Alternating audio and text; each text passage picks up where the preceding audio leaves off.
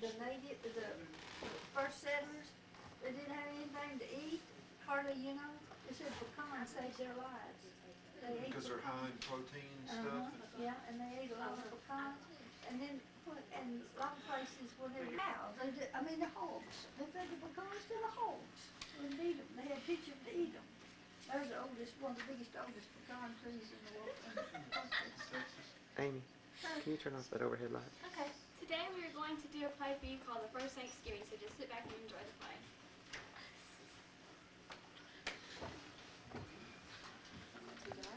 No. It all started one cold fall morning when Squanto saw 100 pilgrims land on the island on a ship called the Mayflower. When the pilgrims came on shore, the Indians hid. One day, though, Squanto came out to visit the newcomers, and this is what happened. Hi, how are you? Good. Do you need help? Yes. We need help planting corn. And hunting and fishing.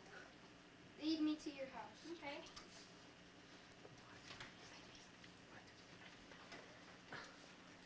Two days later, Squanto returned.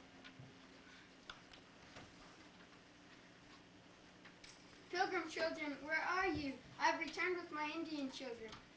We're here. How? How? Hi. I, um, we have come to help you. Help us plant corn? Yes. Good. First, you, um, we will dig holes. First, we will go fishing. Then, we will dig holes and put the seeds in them and put fish and dirt on top. We will go fishing and you can go dig the holes and put the seeds in. That sounds good. We will meet you when the sun is up.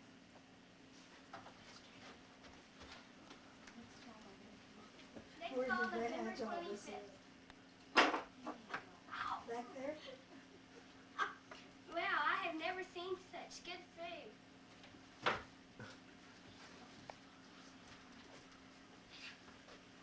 Let's go hunting for the turkey. Okay, that sounds good. Go, go, go, go, go, go, go, go, go, go, go, He's up here. Squanto misses the turkey, so he should avoid taking him home as a pet.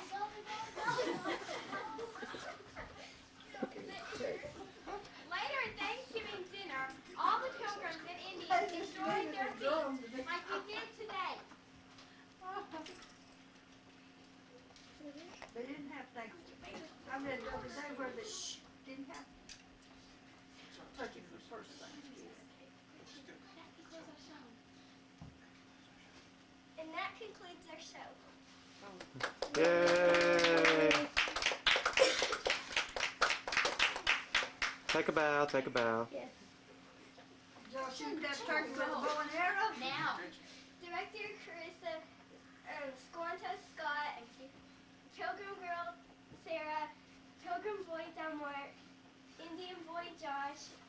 that Turkey, Zach, go, go, go. and I'm the narrator in Indian Girl. All right.